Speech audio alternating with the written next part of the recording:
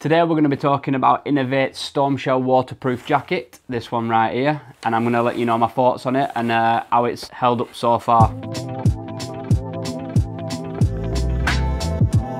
So I've had the Inov-8 Stormshell for a little bit now and I've managed to go out on a few longish runs with it. Unfortunately, I haven't been able to test out the full waterproof capabilities because it's not been that rainy at the minute. I have been able to test out the jacket in snow and cold weather, but as for heavy rain, I've still got to got to test that properly yet, but I'm sure that'll come soon. So this is the Inov-8 Stormshell waterproof jacket.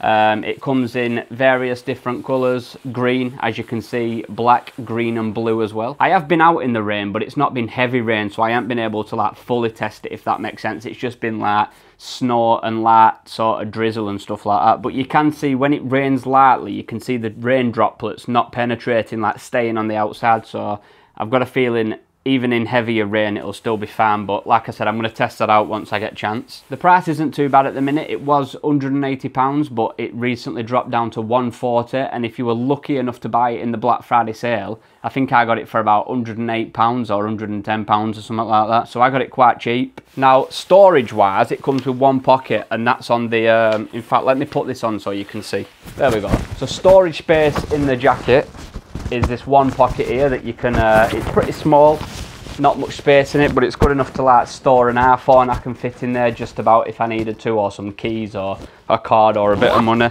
And that zips up. All the seams are fully taped to keep you nice and dry. So this jacket also has taped seams to keep you even drier and stop the water from getting through any of the seams or through the zip or anything like that. It has 20,000 HH, which is a hydrostatic head that's like the waterproof measurement. It's made to withstand something like 20,000 millimeters of rain in like a 24 hour period, which is quite a lot. It's supposed to be able to handle pretty heavy rain and keep you nice and dry. Like I said, I've been out in the, the drizzle and snow and it's not only kept me dry so far in the light rain we've had, but it's also kept me warm enough as well without sweating too much. Now there's no ventilation anywhere really, but the material's meant to be quite breathable. I think I've been on like a 15 mile runway, it's the longest. Uh, another good feature is it's got these little thumb loops so your sleeves don't move about you can keep them in one place but not just that it also keeps your hand a bit dry and warm you can still get to your phone and like zips or whatever you need to but yeah that's like a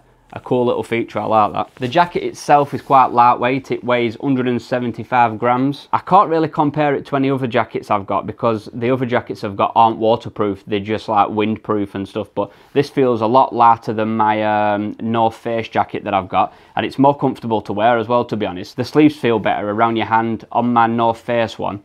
They kind of like just there's no elastic or anything. I don't know, I'm just not right keen on the sleeves on that one. Even though the jacket, North Face jacket's alright, I just prefer wearing this even if it's not raining, to be honest. Once you've zipped it up, it has a little button here that you're able to fasten up um, when the zip's all the way up. I can't zip it up at the minute because you won't be able to wear the microphones pinned to my top. But um, that's to help keep it all in place and keep it nice and comfortable so the zip don't come down and get in the way and stuff. You can basically clip it up. So on the hood itself, you've got this little peak that's got like a mesh wire in that you can bend into shape uh, which is quite a cool thing actually. I didn't even notice that before until I've just grabbed hold of it. But one thing I did notice that I like is you've also got this here, this little uh, piece of elastic that you can adjust the hood with, which means that you can adjust the hood and tighten it enough to sort of hold in place on your head. So unlike the other jackets I've got, when you turn your head and the hood doesn't move and you can't really see and then you've got to move the jacket, well this one, you can tighten it enough so that when you move your head, the jacket moves with you and you're not having to mess about. It just fits comfortably, keeps your nice, warm and dry. So as far as safety goes, I went and chose the green one over the black, even though I do like my black running clothes really, but I went and chose the green one because I thought I'm gonna be using this in rain more over winter and obviously it's going to be dark and I need something that's got a bit of a brighter colourway so I'm more easily spottable because the rest of my clothes are all like blue and black and really dark greens and stuff so I went with a lighter colour but so as far as safety goes if you didn't pick the bright jacket you've got the reflective prints on the jackets but to be fair they're not right big so if you were going for a darker colour you're probably the, the the reflective prints probably aren't going to do too much to be fair. You'd probably want to go for a brighter colour if you're planning on running in the dark. But that's about as far as safety goes. Just you've got one on the pocket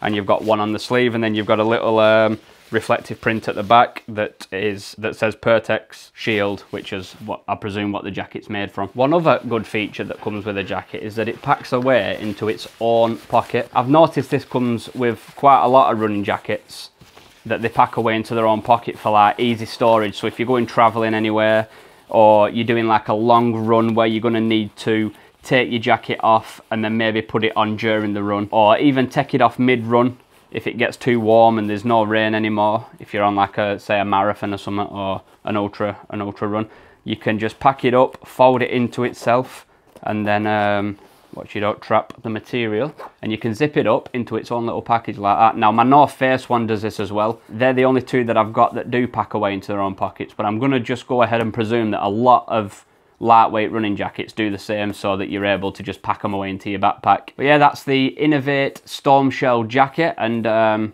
I think, to be honest, I haven't really got too much negative to say about it. The only thing I would say is the zips feel a bit flimsy and it only has one pocket on the chest. But I wouldn't really say that's a negative thing exactly because I think the reason why the zips feel a bit flimsy and it's only got one pocket is to keep it as lightweight as possible. Because the more pockets you have, the more zips you have, the, the better quality sort of... I mean, it's not bad quality zip, it just feels a bit flimsy, but more sturdier the zip and the more pockets you've got, I guess adds more weight and I reckon they're trying to keep this as lightweight as possible so that you can obviously not really feel it while you're running and it still keeps you dry. And also so you can pack it in your backpack and you're on your way. You don't have to worry too much about weight. I also forgot to mention when i was talking about the taped seams that that also makes sure that this is good enough for mandatory kit for racers. But anyway that's what i think about the Inov-8 storm shell waterproof jacket. I'm going to uh, obviously do a better test once the rain gets a bit heavier but so far it's kept me nice warm and dry. I will be back out on the trails again soon filming more videos but i did break my uh, camera stand on the, the last run i did. I dropped it and something broke off so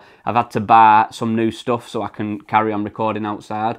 So i should be back to normal with uh, them videos very soon and you can expect more reviews to come for uh, other gear that i I have or that I'm going to buy. But yeah, thank you for watching. I appreciate it. Thank you for everyone that's subbed so far and uh, I will catch you guys in the next video.